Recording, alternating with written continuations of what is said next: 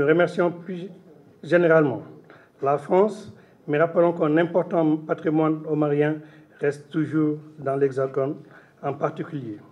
Il y a 517 livres et manuscrits de Ségou qui sont dans la bibliothèque française François Mitterrand.